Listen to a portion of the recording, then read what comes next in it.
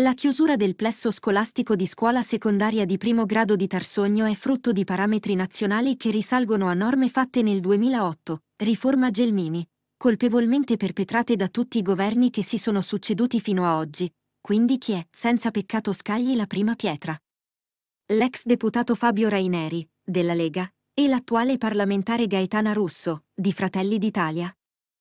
Per adesso sembrano essere gli unici esponenti di partito che hanno fatto almeno qualche esternazione relativa al taglio di docenti che ha provocato la chiusura della scuola secondaria di primo grado di Tarsogno, sono invitati tramite i canali interni ai loro partiti ad intervenire presso i vertici dei ministeri dell'istruzione e dell'economia, attualmente entrambi guidati da ministri leghisti, per fare in modo che i funzionari degli uffici territoriali e regionali dei due ministeri possano provvedere di conseguenza senza chiudere il plesso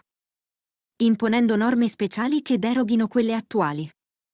La Gilda degli insegnanti questo tipo di invito l'ha rivolto invano a tutte le forze politiche che negli anni si sono succedute, purtroppo mai nessuno ha dato cenni di concretezza, se non qualche intervento teso ad avere un po' di visibilità sui media. Salvatore Pizzo, coordinatore della Gilda degli insegnanti di Parma e Piacenza, dichiara. La nostra non è una provocazione.